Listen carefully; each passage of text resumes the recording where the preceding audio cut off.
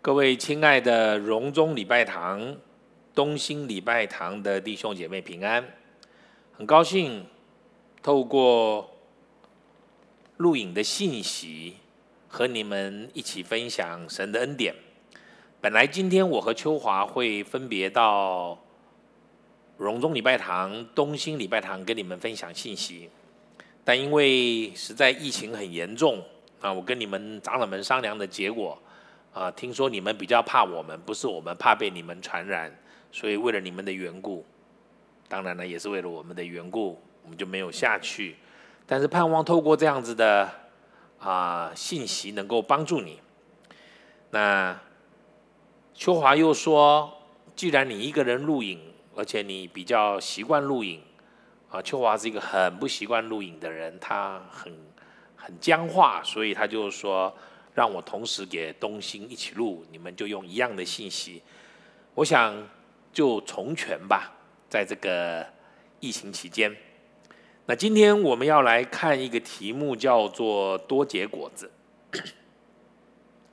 我们来到约翰福音第十五章，约翰福音十五章都是耶稣的言论。如果你有一种圣经是红字版的圣经，你打开来，这一页全都是红的。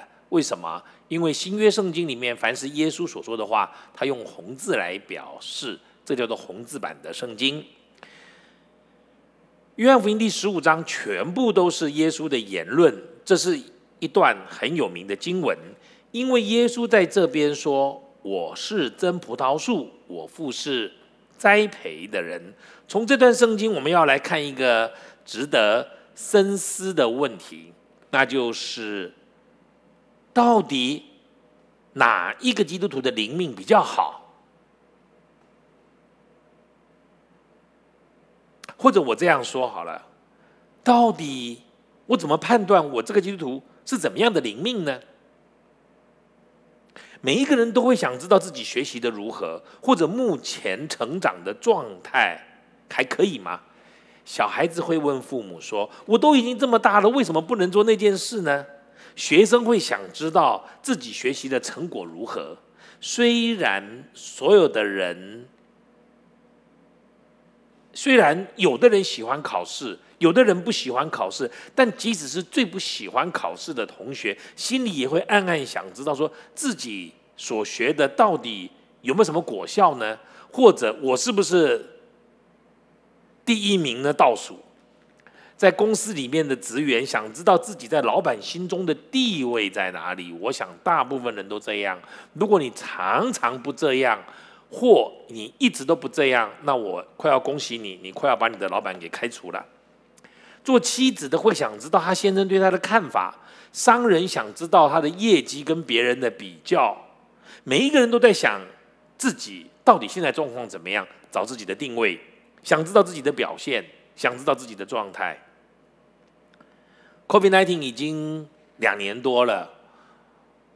如果我们看历史上面，一九一八年那一次，再看一下黑死病的那一次在欧洲，我们就会知道，Covid nineteen 之后就天翻地覆，重新洗牌，财富重新分配，行业别原来是在上面的，现在到下面去了。我认识几个。从事不同行业的，有的人呐，掩不住心中的喜乐。虽然他稍微压一下，可是我知道这次疫情过后他发了。我也看到几个人愁眉苦脸到不行。他说：“我真的没有办法，不止现在破产，而且没有翻身的余地，除非我换行业。”因此，作为一个基督徒，我们也不例外。我们很想知道自己到不到底讨不讨神的喜悦呢？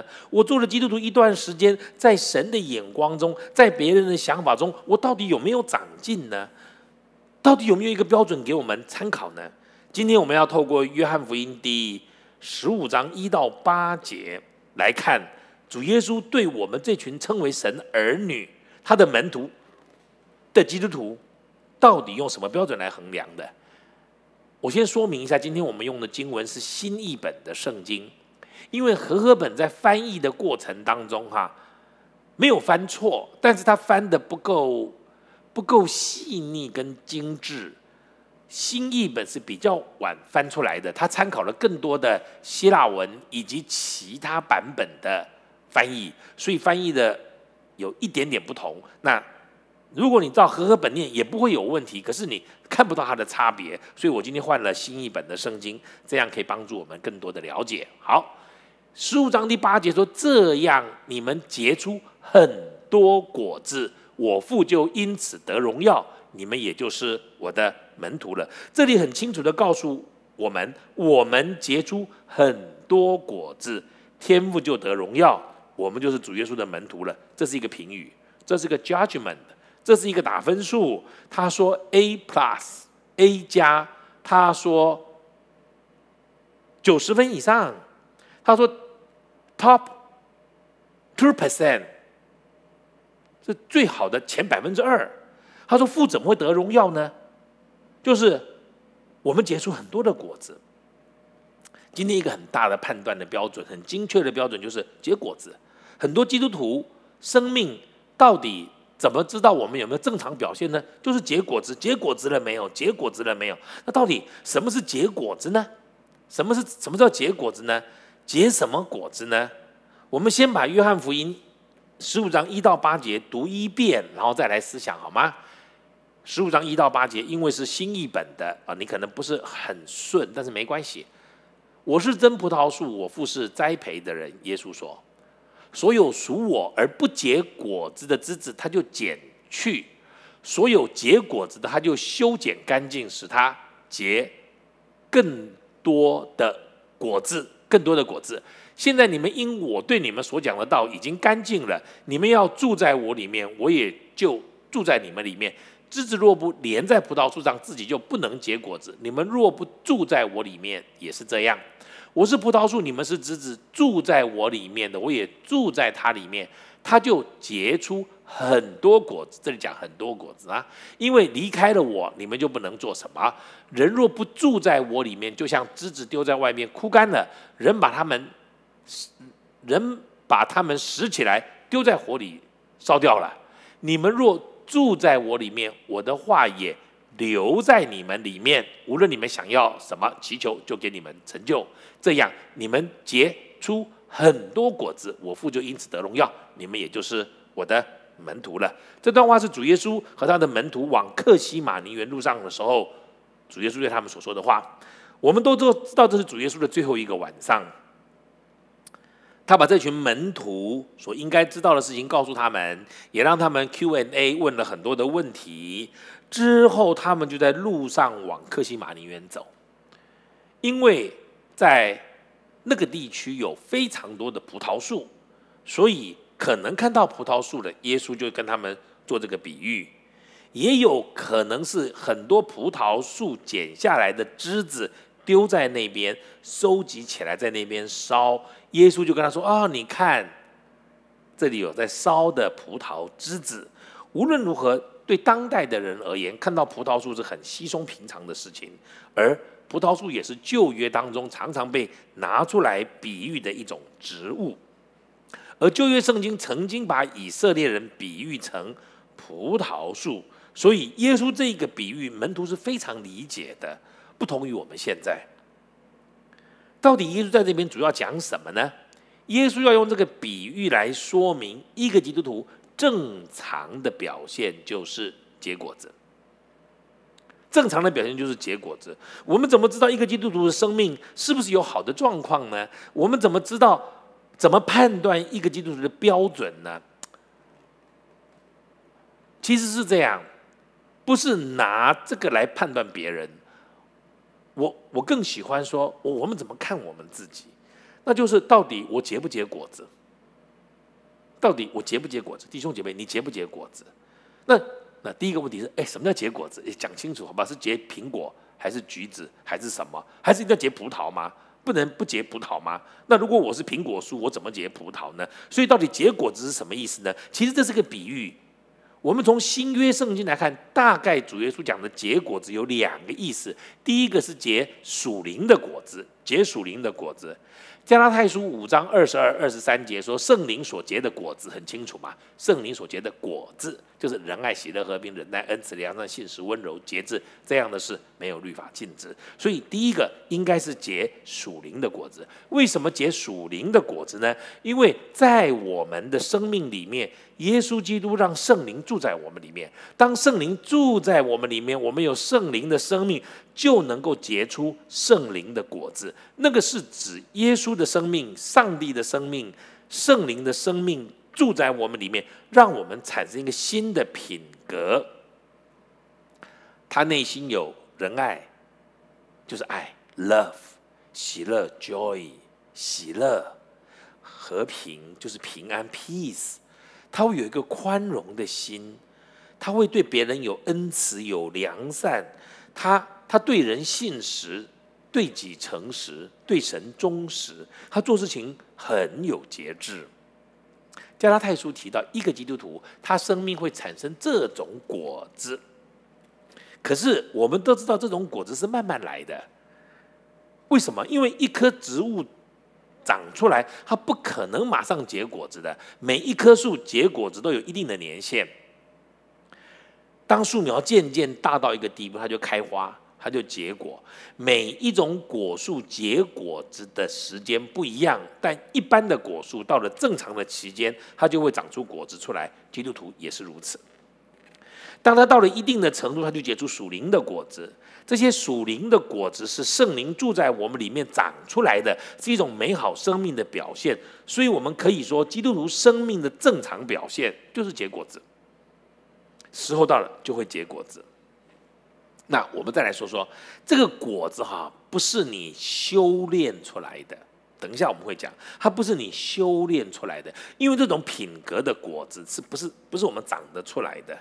不是我们长出来的。比如说平安，peace，平安，在我们里面，这个不是我们以为外在没有危险。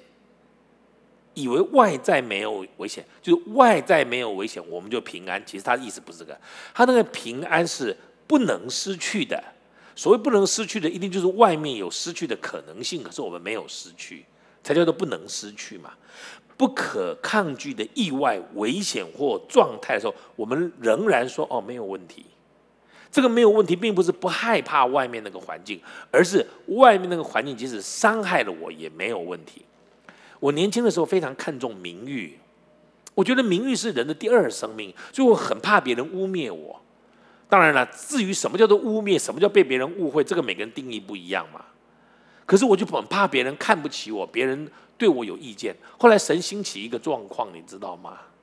专门来来对付我，因为我怕别人污蔑我。以后神就让我在一个状态里面，所有人都对我产生意见。那我不完了吗？这个时候才真正知道说有没有结平安的果子。如果外在的环境非常不顺利，你里面仍然笃定，这个不是你要不要，这个是你能不能，你能不能产生这种状况？这个叫做平安、宽容，也不是忍耐。这里的忍耐其实是宽容的意思。宽容是什么？宽容是你对我不好，我不会用你对我的不好来对你，这叫宽容。因为这个缘故，我们的生命里面到底有什么？那个不是我们自己有的。不是我们要怎么样？这里解到结属灵的果子，是指我们因着耶稣基督圣灵住在我们里面而产生出来的喜乐，也是喜乐。不是我们中了彩券，或者是学生考试考第一名，或者你升官，那这当然是一种快乐。但是喜乐是一种里面的笃定，喜乐是我们确定我们的名被记在天上。耶稣有一次拆他的门徒出去，他们回来说高兴的不得了。他说：“主啊，因你的名，就是鬼都服了我们。”耶稣说：“不要因为鬼服了你们而高兴，要为你们的名被记在天上而高兴。”换句话说，我们的心、我们的灵能够稳定，知道我们是名被记在天上，然后用天上的方式来过地上的生活，这就是喜乐。我们今天不是要讲这些果子的每一个特质，我只是告诉各位，这些特质并不是我们里面修炼的出来的，这种特质是圣灵在我们里面结出来的。这第一，第二，福音的果子。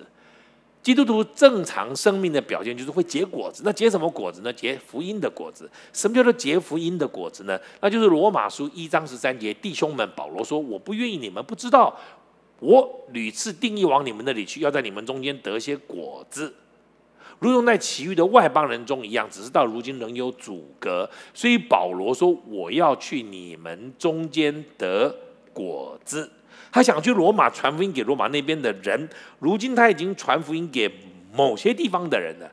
可是他想要得些果子，就是指着他传福音给他们，或者让他们生命得到更成长。所以得福音的果子，表示我们传福音给别人，别人因得着福音而生命有改变，我们称为福音的果子。主耶稣在这边说：“我是真葡萄树，我父是栽培的人。”又说，所有属我而不结果子的枝子，他就剪去；所有结果子的，他就修剪干净，使它结果子更多。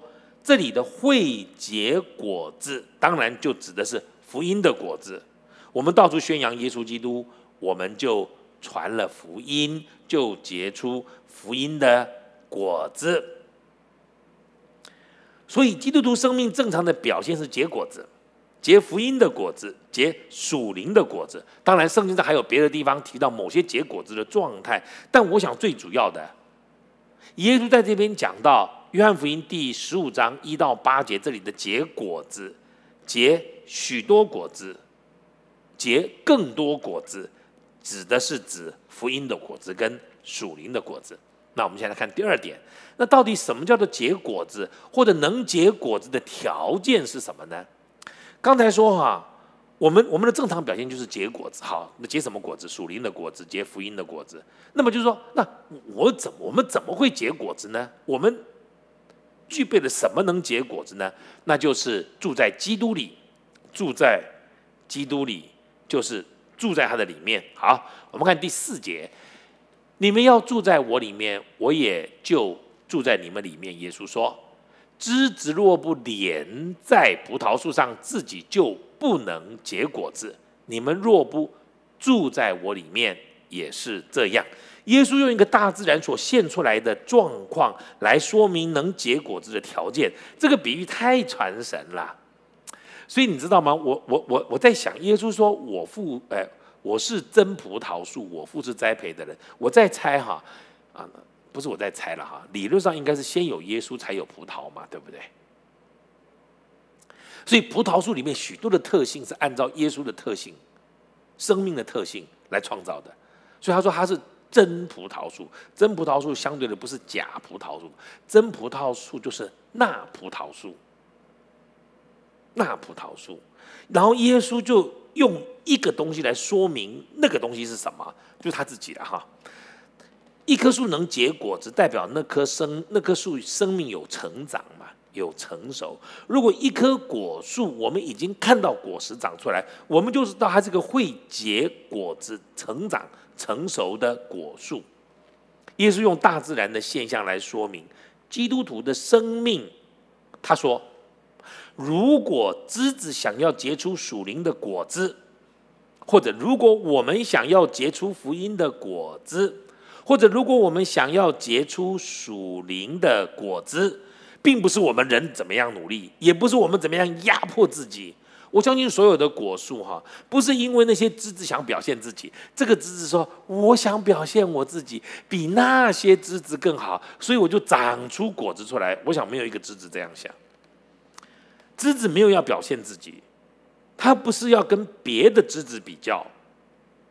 甚至与别的果树比较，说我这棵树长得比那棵果树好，不是所有的枝子结果子都是为了树的生命，或者我们应该这样讲，所有的枝子结出果来果子来，都是因为那棵树生命反映在枝子上面，因为枝子结在树上，它就能够反映树的生命，对吗？如果你把一棵树，的某些枝子锯掉，放在旁边，因为它不连在葡萄树上或者那棵树上，然后大家开始结果子，它不会结果子，为什么？因为它已经离开了，它已经离开了。特别是葡萄树，葡萄树没有很华丽的外表，葡萄树是一种很简单的树，葡萄树和它的枝子几乎不太能分别。我因为这十几年哈，都到欧洲去服侍，常常看到葡萄树，葡萄树的枝子怎么结果子呢？我告诉你哈，它它不需要努力，它就是结在，它就连在葡萄树上，它就是连在葡萄树上。有一个弟兄，他要提供我在欧洲尼西米聚会使用的场地，他就买了一个一个房子，然后呢有院子，很大的院子，我特别喜欢那个院子，三百多平，就是。一千多平方米，他问我说：“你的院子要怎么弄？”我就跟他说：“院子里面要种葡萄树、无花果树、橄榄树。”后来他弄了一棵橄榄树，有八百岁、八百年的橄榄树，好漂亮。他光买那棵葡萄树，哎，橄榄树运过来种进去一万欧元一棵树。他种了葡萄树，所以我们就去看葡萄树。葡萄树真的长得很特别，因为你很难分辨。什么是枝子？什么是树？树跟枝子很难分别。而当葡萄树上的枝子连在葡萄树的时候呢，时间到了它就自己结果子。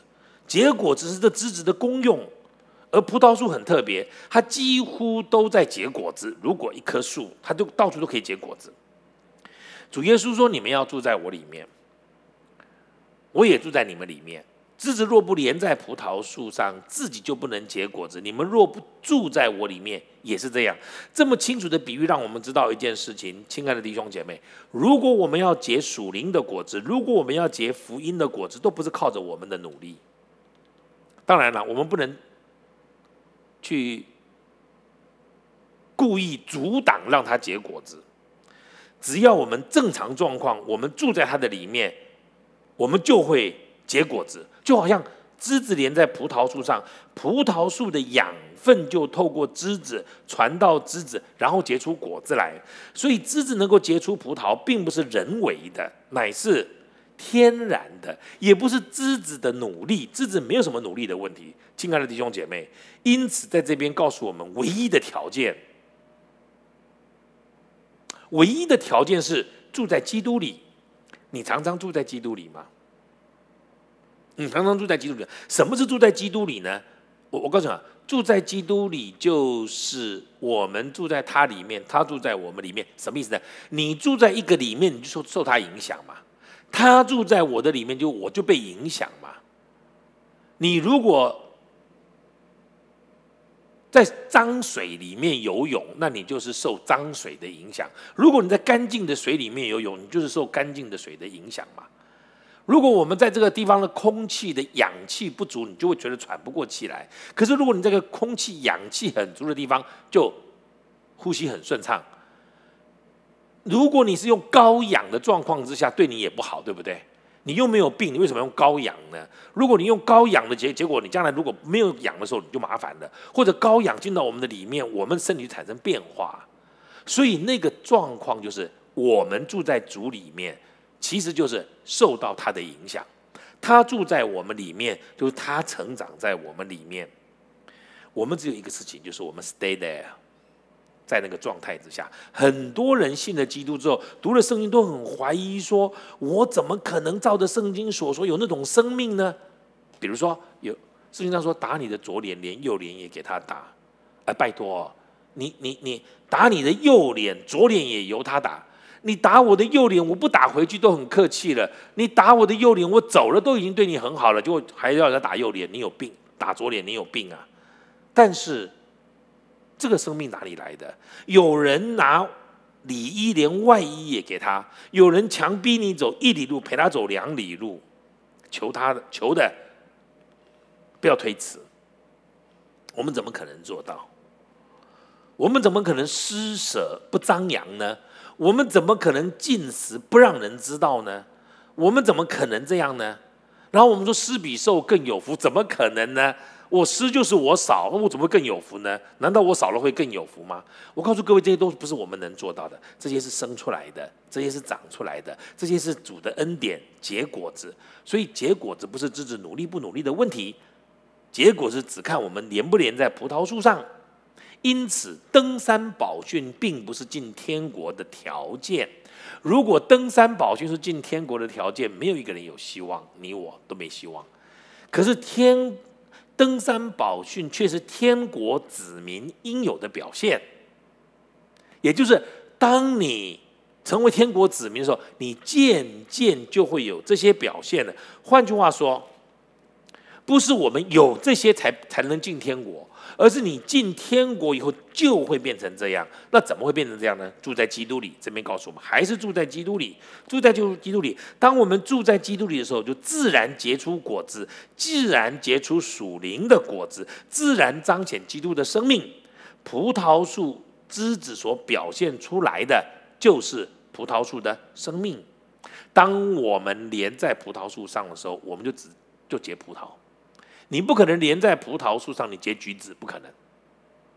因此，我们就应该成为枝子，让枝子可以承受树过来的生命。如果我们这样讲，它是我们的生命，它成为我们的生命，它的属性就到我们里面来，在我们里面流通，以后我们就慢慢活出属灵的生命。这个叫做。结果子的条件，所以我们再来复习一下，结果子的条件是住在基督里，好像一颗，呃，一个葡萄枝接在葡萄树上。再来，第三，多结果子的方法，多结果子的方法，就是说我我我结果子，因为我结在葡萄树上，那我怎么可以结多点呢？就是按神的应许来祈求。我们来读这段的圣经。耶稣说：“我是葡萄树，你们是枝子，住在我里面的，我也住在他里面，他就结出很多果子。看这两个字啊，很多果子。因为离开我，你们就不能做什么。人若不住在我里面，就像枝子丢在外面枯干了，人把它们拾起来丢在火里烧了。你们若住在我里面，我的话也留在你们里面。无论你们想要什么。”祈求就给你们成就，这样你们就结出很多果子，我父就因此得荣耀。你们已经是我的门徒了。这里提出结很多果子的方法，枝子能够结出果子还不够，这里提到要结出很多的果子。一棵葡萄树，它的价值。在于它能够结出多少果子出来。一棵葡萄树结果子越多，它越有价值。这里提到住在它里面就能结果子，不离开它就能结果子。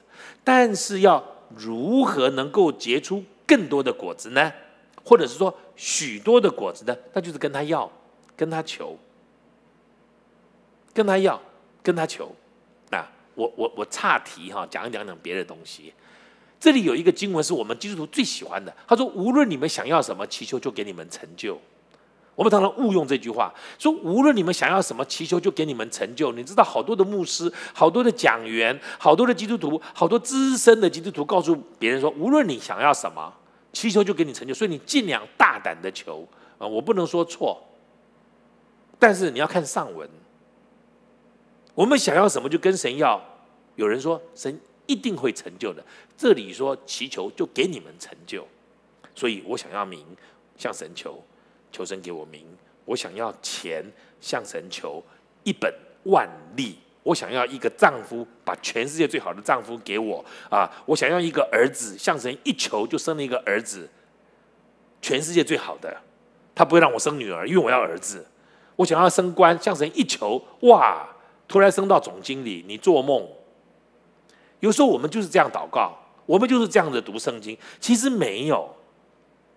我曾经听一个讲员说：“耶和华与我同在，人能把我怎么样呢？我还能怕谁呢？”我就心里想说：“你为非作歹。”但是你却说：“耶和华与我同在。”他没有要与你同在。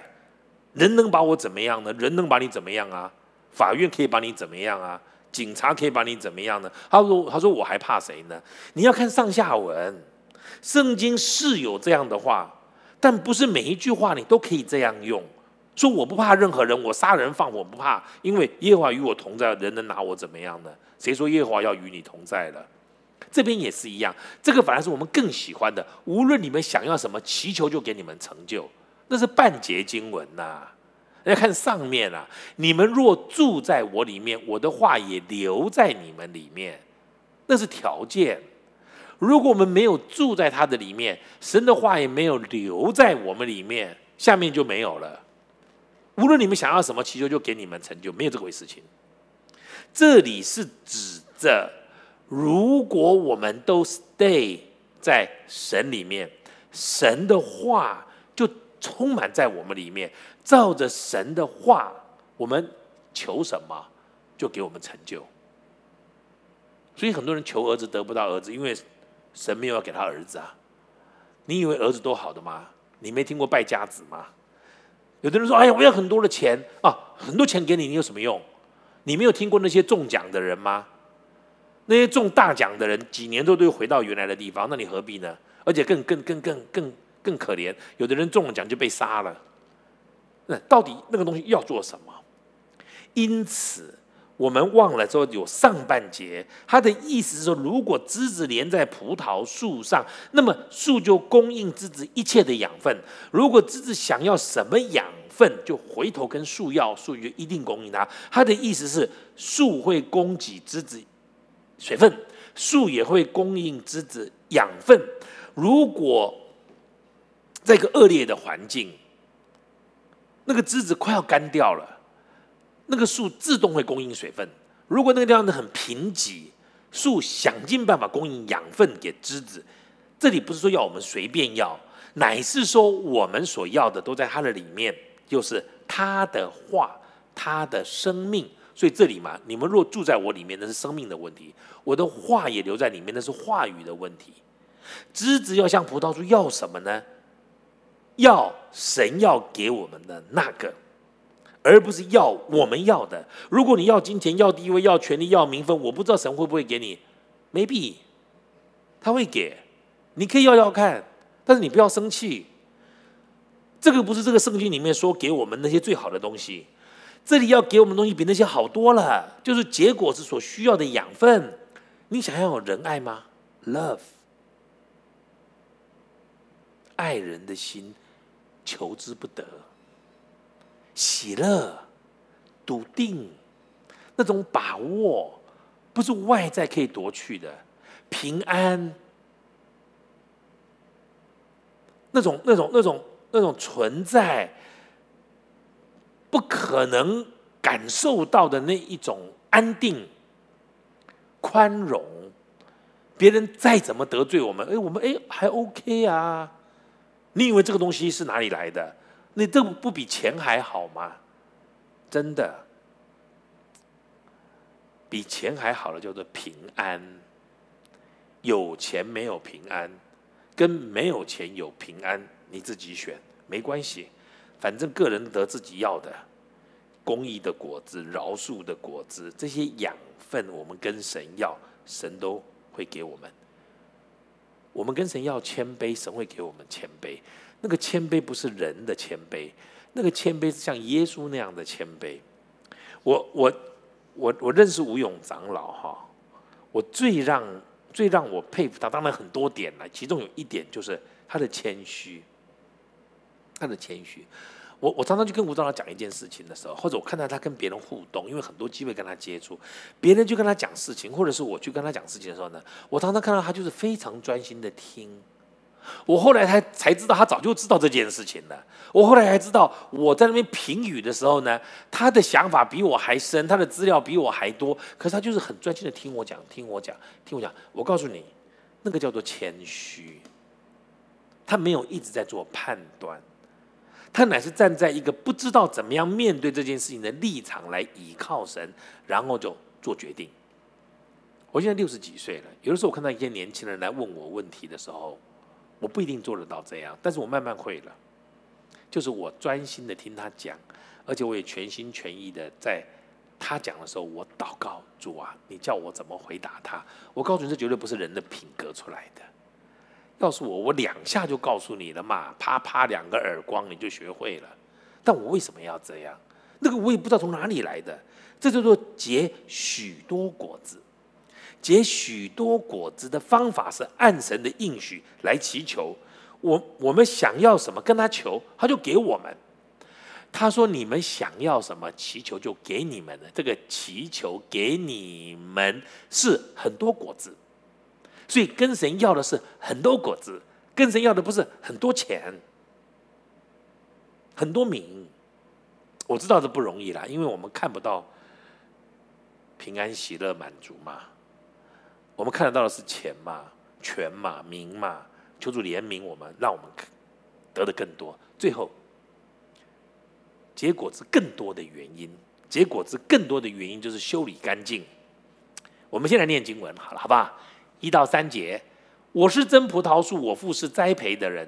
所有属我而不结果子的枝子，他就剪去。耶稣说：所有结果子的，他就修剪干净，让它结更多的果子。现在你们因着我对你们所讲的道，已经干净了。二到三节这里提到更多的果子，二到三节跟五到八节那里讲很多果子，原文有区别。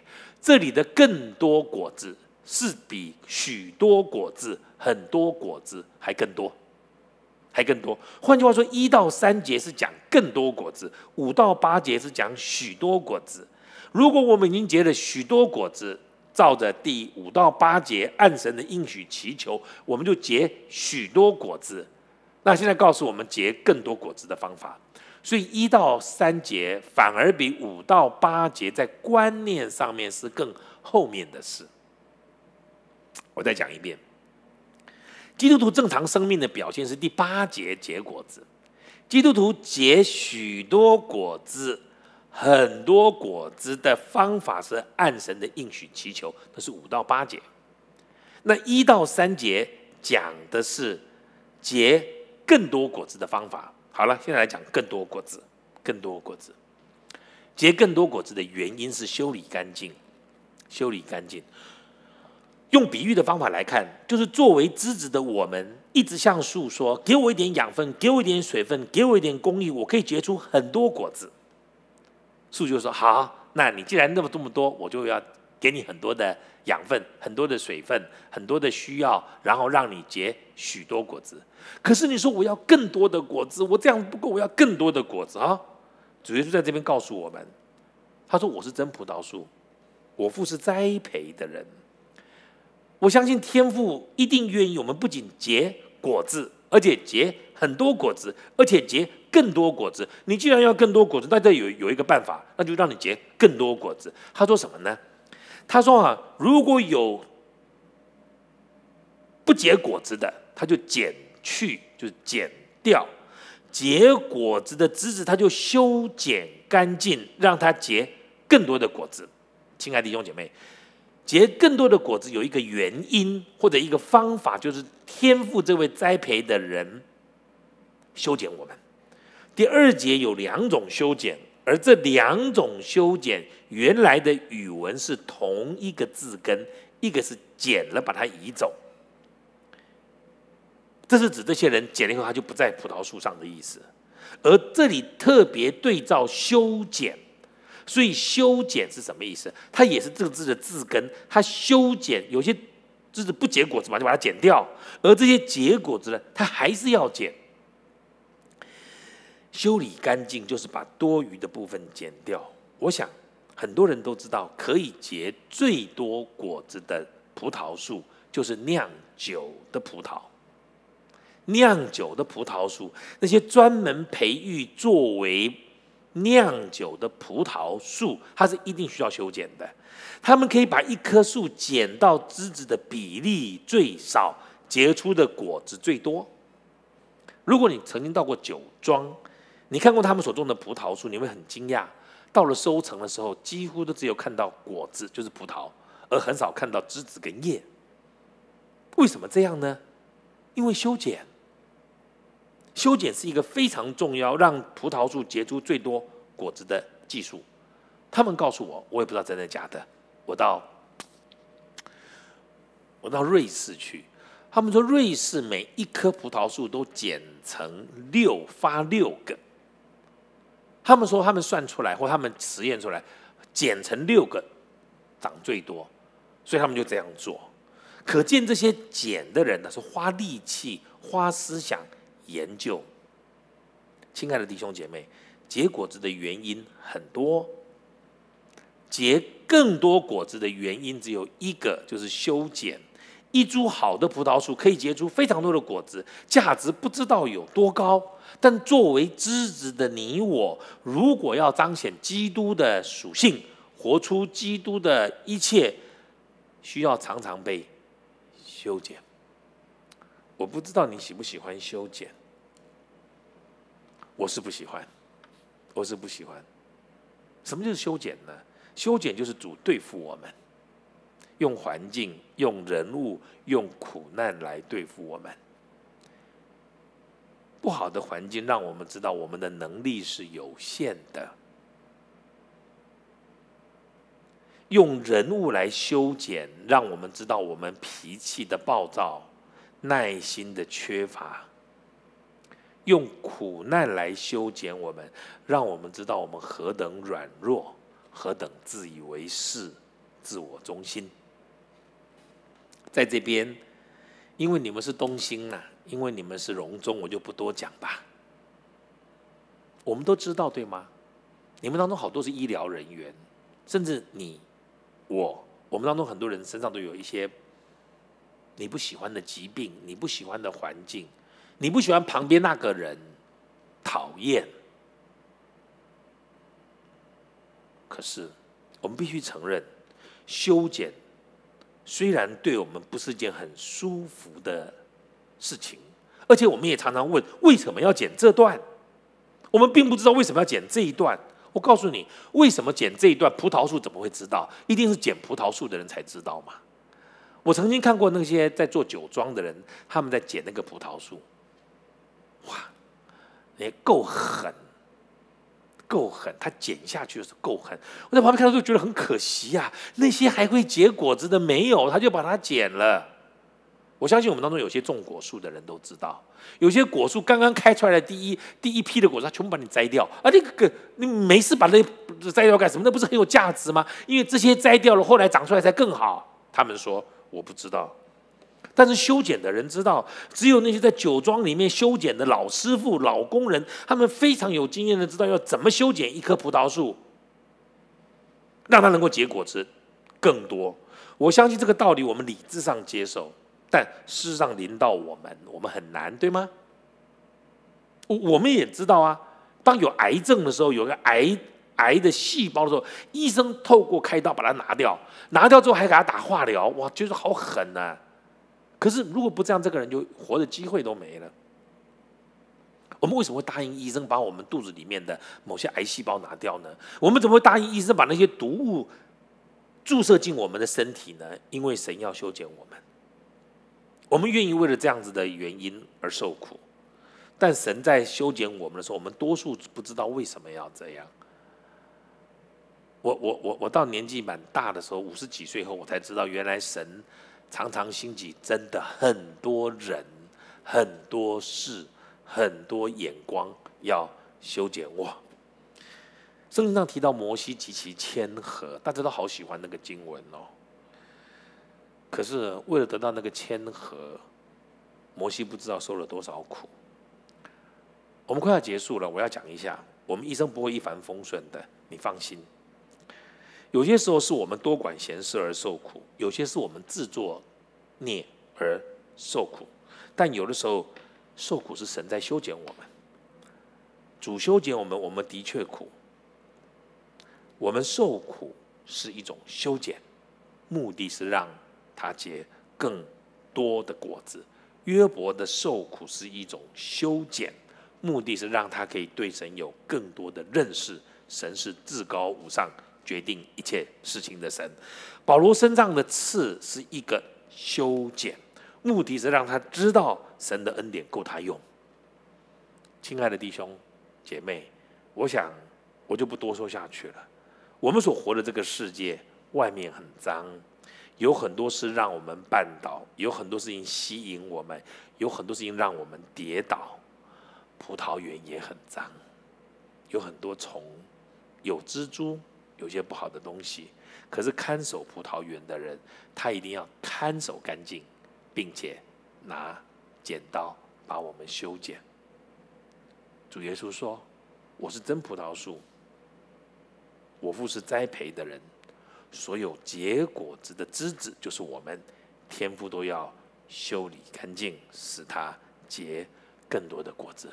巴不得我们知道什么叫做结果子，知道结果子的条件是住在基督里，知道结许多的果子是照着他的应许祈求，最后知道结。”更多果子的方式是，他修剪我们，就是恩待我们，让我们的弟兄弟兄姐妹在属灵里面都有更多的成长。我们一起来祷告。天父，我为东兴礼拜堂、为荣中礼拜堂的弟兄姐妹祷告。虽然不能亲自到他们当中，但是我在这里讲道的时候，感受到他们的同在，感受到跟他们在一起，感受到你圣灵的工作，无远佛界。能够打破时间跟空间的限制，让我们经历你。求你恩待我们的弟兄姐妹，在疫情非常严重的时候，我们当中有些人会受感染，我们当中人可能会中重症，甚至我们当中可能有些人会被你接回天家。但是我们平安、喜乐、笃定，以及知道你的修剪可能是必要的。因此，我们忍耐等候，直到我们见你面的日子。谢谢主，听我们祷告，奉主耶稣基督的圣名，阿门。